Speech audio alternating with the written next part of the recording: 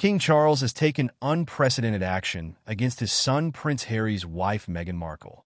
In a stunning power move, Charles has stripped Meghan of her royal title of Duchess of Sussex in a move that signifies a complete rupture with the monarchy. Let's rewind to see how tensions escalated to this dramatic point. Ever since Harry and Meghan stepped back as senior working royals in early 2020, their relationship with the royal institution and other family members grew increasingly fraught.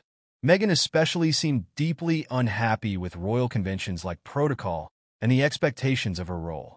Behind palace walls, it said she clashed with staff over demands and did not take criticism well. Rumors of feuds with Kate Middleton also circulated.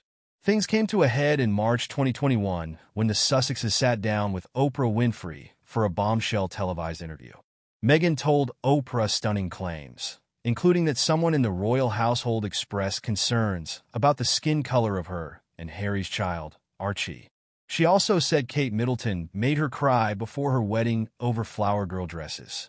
These accusations sent shockwaves around the world and deeply damaged the monarchy's image at a sensitive time. It presented the family in a negative light on a global stage they had little power to directly respond to. Charles and William were said to be enraged over the disloyalty and seen as opportunism. In the 16 months since, tensions failed to de-escalate. The Sussexes struck lucrative Netflix and Spotify deals implying royal association, while still living luxuriously in California away from beauties. Harry further criticized his father's parenting in an upcoming memoir slated for release later this year, deepening the rift.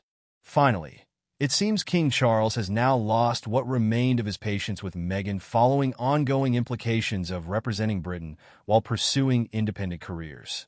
In a carefully timed move during his Platinum Jubilee celebrations in June, Charles took the extraordinary step of issuing a written decree. In the letter, Charles announces he is stripping Meghan of her title of Duchess of Sussex with immediate effect using ancient royal prerogative.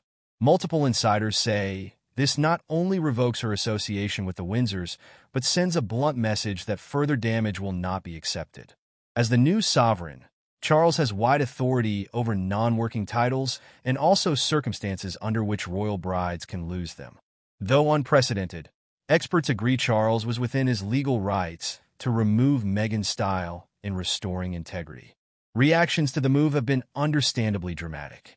Some supporters call it necessary to establish a clearer separation given ongoing scrutiny of Netflix deals or the book that threatens to expose family secrets. However, Critics call it needlessly vindictive and only damages already frayed family bonds. Regardless of perspective, the decree represents a new hard line from King Charles in his determination to move the monarchy securely into the future under his reign. He is said to want to streamline the institution and distance it from self-serving exploits or criticism from royal exiles still cashing in on former platforms. For Meghan, this revocation of her title is undoubtedly a massive blow and permanent rupture from any ceremonial role within the family. As an American divorcee, now fully estranged, she no longer holds rank of British elegance that comes with the trappings of Duchess status. Unsurprisingly, reports say Harry is crushed at yet another painful breach with his father and royal dynamics are irreparably damaged.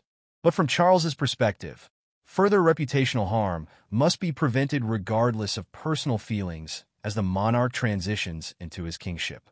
So where does this leave the Duke and Duchess of Sussex now? Those close to them tell outlets they are understandably furious over the so-called abuse of power made to undermine Meghan's voice and influence. But they will continue philanthropic work independently. Critics say Charles may have achieved the short-term aim of ridding British royal family links, but inflamed decades-old wounds by disrespecting privacy and damaging trust with his son during an already fragile period.